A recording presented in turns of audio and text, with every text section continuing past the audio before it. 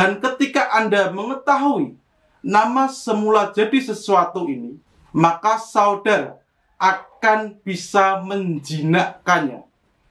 Menjinakkannya berarti saudara akan bisa menarik kekayaan sesuai dengan aplikasi nama semula jadi uang.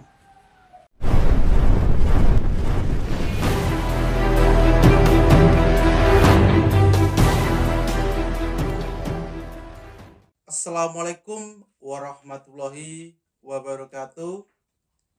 Sedulur Simo di mana pun berada Semoga rahmat serta karunia selalu terlimpah dan tercurah kepada kita semuanya. Amin barakallah. Alhamdulillah wa syukurillah kita dapat berjumpa kembali.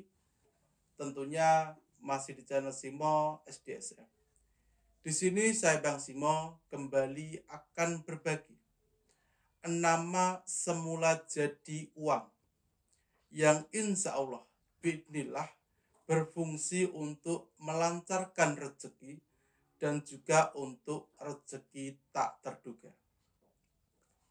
Besi, embun, air juga memiliki nama semula jadinya.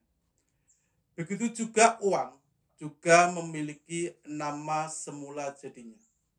Ketika kita mengetahui nama semula jadi sesuatu, maka kita tidak akan binasa olehnya.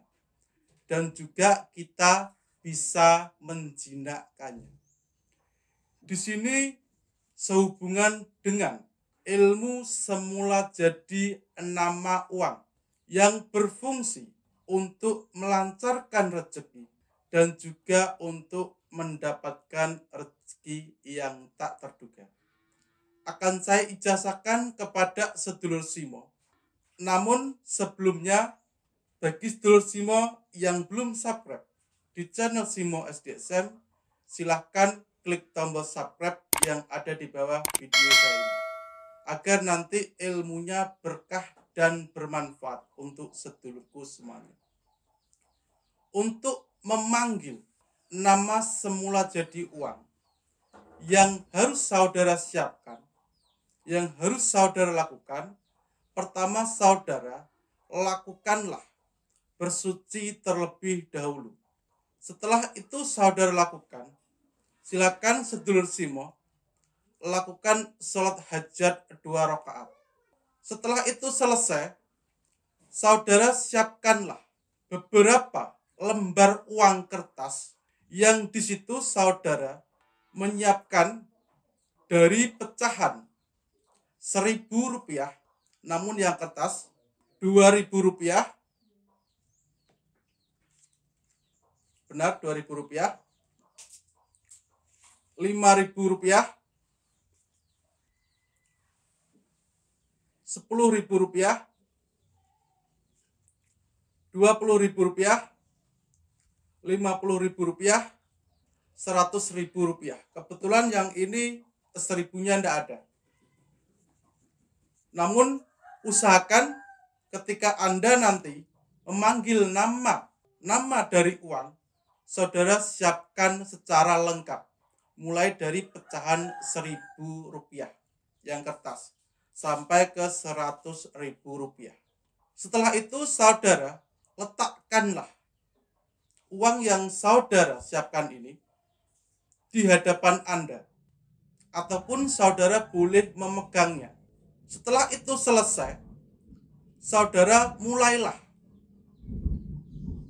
dengan menyeru, memanggil nama semula jadi uang. Dan juga di doa ini ada seruan ataupun salam kepada Nabi Sulaiman.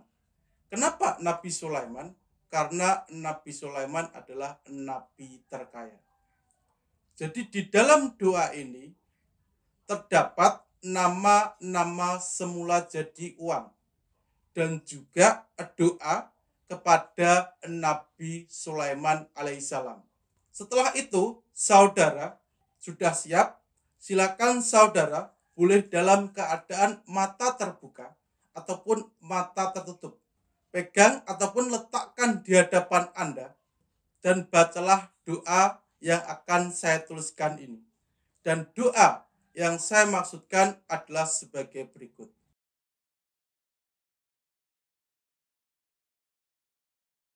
Doanya sedulur Simo baca sebanyak 222 kali ulangan.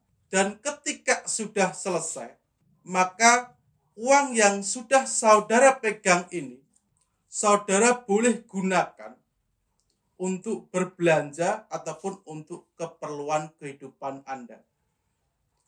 Karena dari seruan yang sudah saudara lakukan ini akan memanggil uang-uang yang lainnya agar saudara miliki.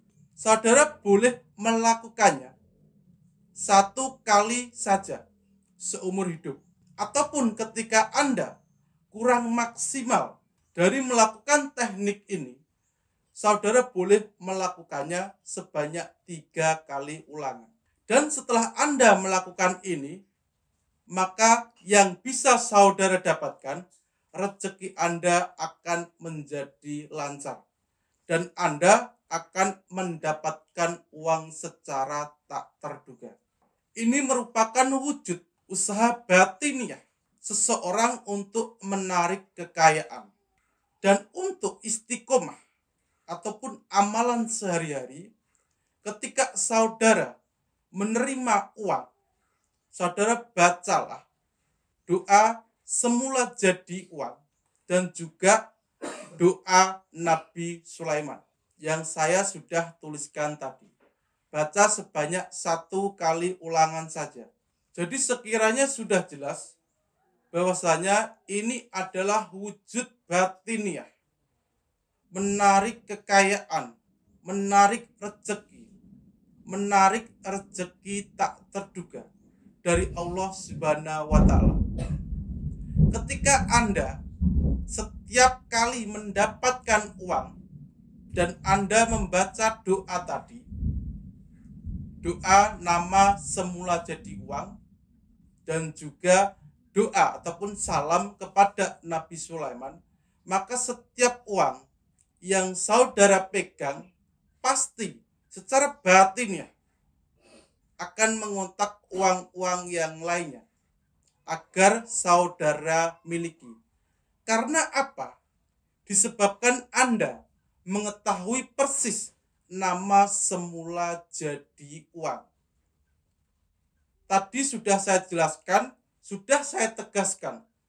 Siapa pun orangnya yang mengetahui nama semula jadi sesuatu, maka dia tidak akan binasa olehnya. Tidak akan termakan olehnya. Salah satu contoh, Anda mengetahui nama semula jadi dari besi. Anda tidak akan pernah binasa oleh besi ataupun terluka oleh besi. Dan ketika Anda mengetahui nama semula jadi sesuatu ini, maka saudara akan bisa menjinakkannya. Menjinakkannya berarti saudara akan bisa menarik kekayaan sesuai dengan aplikasi nama semula jadi uang. Jadi seperti itu ijazah serta ilmunya nama-nama semula jadi uang dan juga di dalam doa tadi ada salam kepada Nabi Sulaiman alaihissalam. Semoga pengetahuan ini bermanfaat dan jika ada pertanyaan, sedulur Simo bisa tinggalkan komentar. Berkah manfaat ilmunya di batang tubuh sedulurku semuanya. Wassalamualaikum warahmatullahi wabarakatuh.